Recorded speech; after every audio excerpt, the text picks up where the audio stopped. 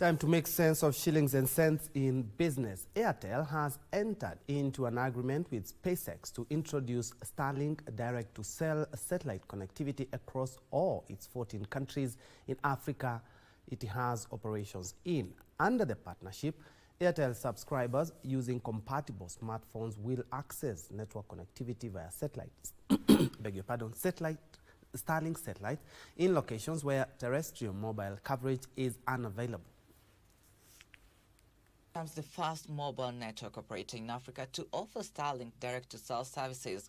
The milestone follows an agreement between Airtel Africa and SpaceX that will see Starlink satellite-to-mobile technology integrated into Airtel's network across all its 14 African markets, which collectively serve about 174 million subscribers. The partnership was driven by the persistent challenge of extending reliable mobile coverage to sparsely populated and hard-to-reach areas where rolling out conventional terrestrial infrastructure is often costly and technically difficult. The service is expected to begin in 2026 with data speeds expected to be up to 20 times faster than current satellite-to-mobile capabilities.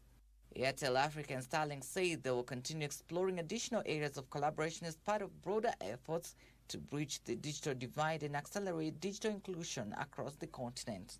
Trevor Ngando for Lunchtime News.